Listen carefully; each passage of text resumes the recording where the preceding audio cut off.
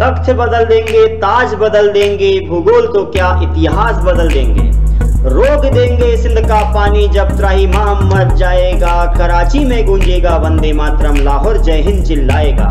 मेरे भारत देश की माता बहनों को, मेरे भारत देश के जवानों को, मेरे भारत माता के लालों को, मेरे के प्यारे विद्यार्थियों को, मेरे गुरुजनों को, मेरे सभी साथियों को 26 जनवरी 2022 के गणतंत्र दिवस के शुभ अवसर पर ढेर सारी शुभकामनाएँ, ढेर सारा प्यार, ढेर सारी बधाइयाँ।